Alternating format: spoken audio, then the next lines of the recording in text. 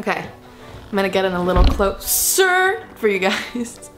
What's up guys? Welcome back to my channel. Today's video is going to be a little more casual, just like last week's video, which by the way, I quickly want to thank you guys for your incredible feedback. You guys left the sweetest messages in the entire world and it genuinely made me so, so happy. I read through every single one of them and you guys are just freaking awesome. But today's video is also gonna be pretty casual because I don't have much time this week, and so apologies on that. But I'm also excited because I've only filmed this type of video once before. I'll have it linked down below, but it's basically going to be a get ready with me, but a little more casual and chatty. I'm gonna be talking through what I'm doing versus chopping it up and adding in voiceover and music and all that stuff. I just realized I didn't set my makeup.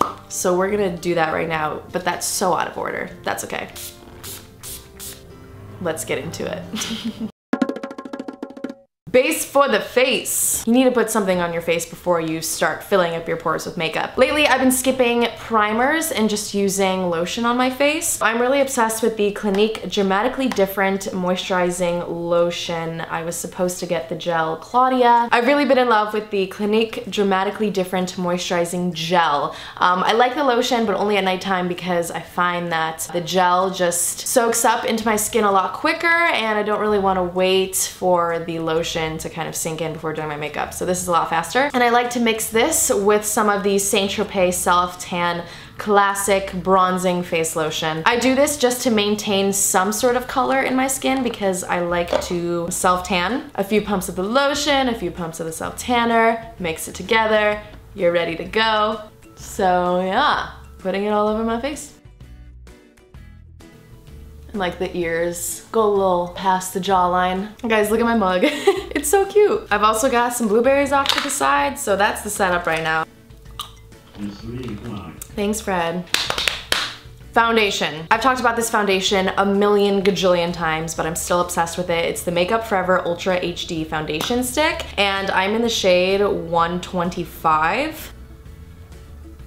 I would say so. Going in with my beauty blender, I'm just going to start blending everything in. I swear to God, this stuff is like an eraser. It's so weird. The second you start blending it in, everything just disappears. As of lately, my skin has been super clear. I haven't really had too many breakouts. Um, but normally, I would go in with the Makeup Forever Concealer Palette. You guys will notice that I use a lot of Makeup Forever products. This video is not sponsored anyway. But yeah, I really like this concealer palette. It is the shade number one. It's their Camouflage Cream Palette. I love all of the shades. I usually end up using all of them. But I'm gonna use the second one and just add a little bit under my eyes to kind of cancel out my dark circles, but that's pretty much all I'm gonna do for concealer. Once I finished up with all my cream products, I'm going in and setting my face with the Laura Mercier translucent powder. This stuff is incredible. This is probably my third time purchasing this and it lasts a very long time.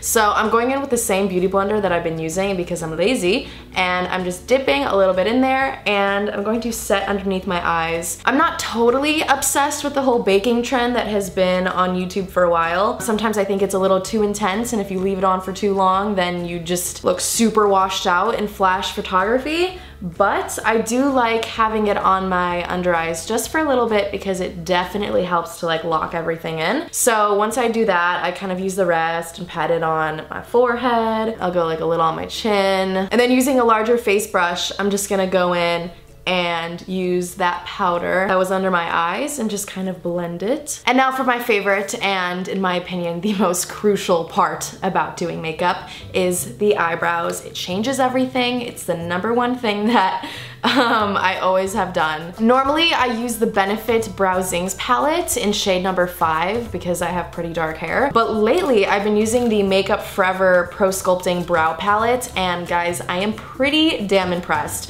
because this little thing has so many different shades and options. I've only used this thing twice, so it's still super new to me, but so far I am loving it. One time I discovered this eyebrow brush on set. It is the Anastasia number seven, and I'm so obsessed with it. I love that it's small small, it's got a spoolie, and the angled brush is just incredible for filling in eyebrows. So that is what I like to use. I'm just gonna go to town. I usually start off more towards the front at the bottom and just kind of go in small strokes. You cannot rush this.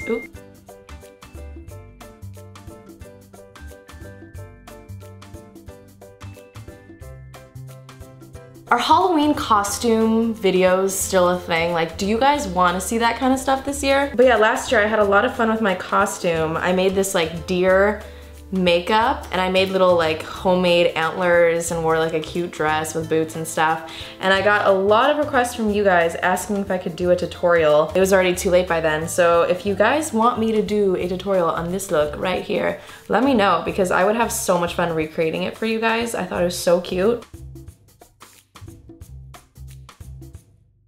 I've been using this bronzer for so, so long because I love the shade of it. I love that there's no sparkles. And also this one in particular, let's give it a little zoom up real quick. How cool is that? It says Claudia's Hoola. Shout out to you Benefit. I feel really special every time I use this. So I'm just gonna go in and contour my cheekbones, my temples, a little bit down here, and then go from there.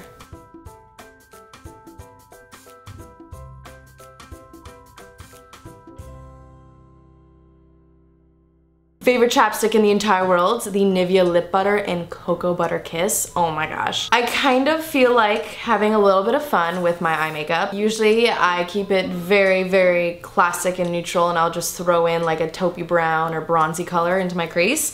But I want to try out this palette. Yet again, another Makeup Forever palette, but this came in with the eyebrow palette, so that's why I'm just really excited about these. This is their new Nine Artist Shadow palette, and so there are a lot of fall colors in here. Oh my gosh, so beautiful. Look at that bluey green. Should I mess with that one? Are we gonna get that freaky? Should we? I might do it. I'm gonna start off with this lighter gray toned brown and I'm just gonna throw that into my crease to start with a nice gradual blend in shadow. I don't know what the term is, but it helps everything else kind of blend in and look a little more natural. Let's peel this plastic off. This is my first time using this palette, by the way. I really like that. I do. I'm a little scared, I'm not gonna lie. All right, we're gonna dip into this greenish blue one and just uh, see what happens. I'll, where do I start?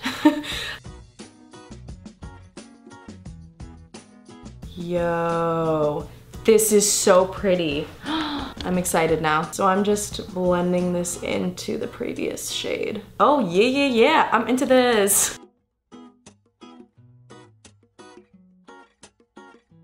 Kind of want to bring this all the way in.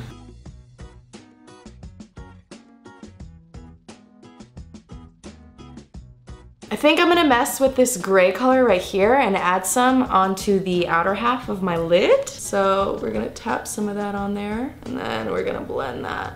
I'm also gonna take some of that same gray and add that to my lower lash line. Then also pop in some of that blue green as well.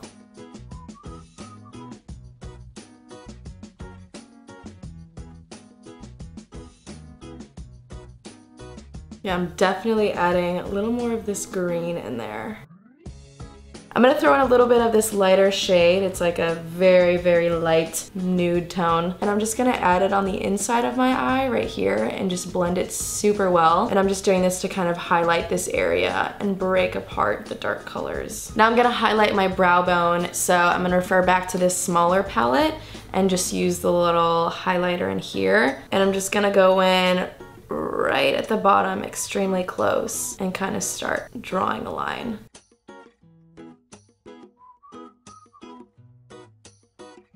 I may have mentioned this in a video before, I'm not sure, but I've been Jesus, it's another freaking Makeup Forever product. Guys, I swear this video isn't sponsored by them, but I'm obsessed with their Pro Sculpting Duo. So you've got a contouring shade and a highlight shade. So I never use this bottom half for contouring because I feel that it's a little too glittery for me. Although I've been really loving it for blush because it just gives you a very bronzed, goddessy looking uh, shine to your face. I'm gonna go in and tone this down a little bit.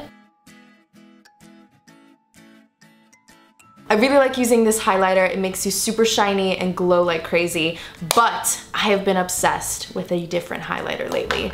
I don't think I've heard of anyone talk about this on YouTube, so that's kind of exciting.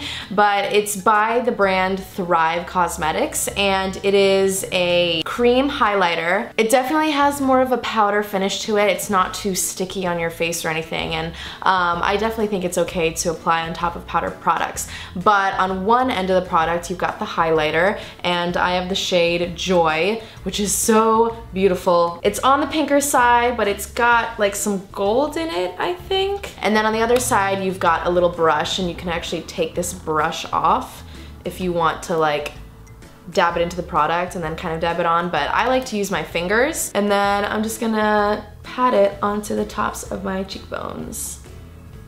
Ah, it's so pretty. It's such a subtle shine, but it definitely is still there. I feel like it's not too much, but it's not too little. It's right in the middle. That rhymed.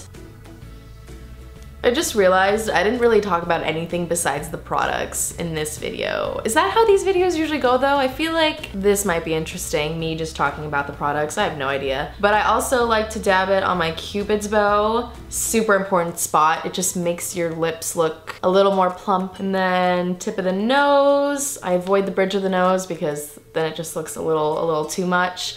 Maybe a little on the chin. You can dab some up here because I'm feeling crazy. Almost forgot the mascara. I'm going to quickly curl my lashes. This is the Tweezerman eyelash curl For mascara, I'm using the Benefit They're Real mascara. This is my second favorite one. I'm obsessed with their Roller Lash one, but I want to finish this before I start using a new bottle of the other one. Ah, ah, ah, oh my god. Quick side story, I sliced my thumb the other day trying to open a package and like it sliced all the way down my nail off to the side and uh, I just put a lot of pressure on it. Okay, we good, we good.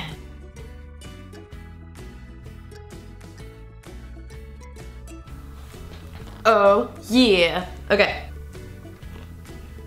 Lastly, we've got the lips and mm, I just spit. Lately, I haven't really been wearing very many lip products. I usually just stop after chapstick. For the sake of this video, I'll throw on a little bit of this NYX Butter Gloss in the shade Fortune Cookie. It's just like a nude lip gloss. I feel like it just makes them a little bit lighter. But yeah, let's, let's take the hair down. Full reveal. Okay, I'm gonna get in a little closer for you guys. Here's a closer look at the makeup if you guys want to see. I just realized I skipped eyeliner today. I guess I wasn't feeling it. I'm actually super into this look. I'm really feeling it. I really, really like um, the eye makeup palette that I used today, so I'm excited to try out all these different shades. But yeah, let me know if you guys enjoyed this casual video. I'm so sorry that I've been making videos that are all sit down and easy to edit and stuff like that. For the past few weeks, I've just been traveling back and forth from New Mexico to LA because we are currently filming season two of Tagged, and so that has been taking up a lot of time, and when I'm here, you know, other things are going on. But yeah, once we jump back into October, I will will start making some cooler stuff for you guys. But I really hope you guys enjoyed today's video and please leave any types of video requests that you have down below. If you want to follow me on Twitter, Instagram, whatever, all that stuff, it's down there. I'm almost at a million on Instagram, which is crazy. But yeah, I will see you guys for a new video very soon. Bye.